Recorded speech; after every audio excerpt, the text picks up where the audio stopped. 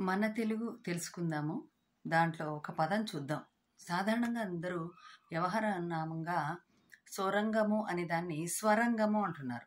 స్వరంగము అన్నారు సొరంగ మార్గము సొరంగము. అలా అనాలి. స్వరంగము కాదు. అది. ఇది సొరంగం అంటే మనకు తెలుసు కదా. మామూలుగా మనం కొన్ని గోల్కొండ అటువంటి వాటికి వెళ్ళినప్పుడు అక్కడ మనకి చెప్తారనమాట అక్కడ ఉన్న గైడ్స్ ఇక్కడ నుంచి సొరంగ మార్గం ఉండింది అంటారు.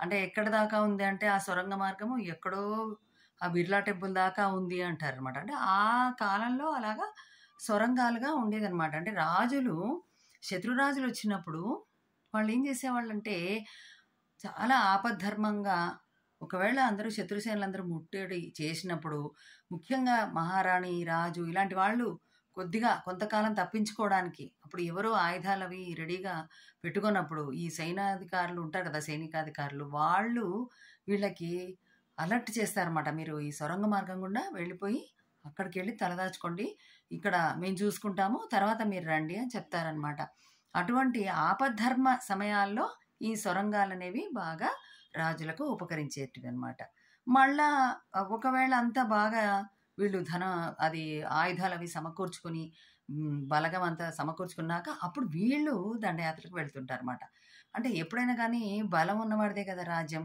అందుకే ఇలా బలాలు బలాబలాలు తెలుసుకోవడానికి వాళ్ళు వస్తుంటారు.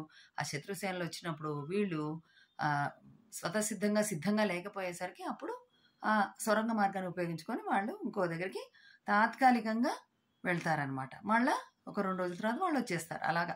ఈ సొరంగము అనేది అంటారనమాట స్వరంగము కాదు సొరంగము.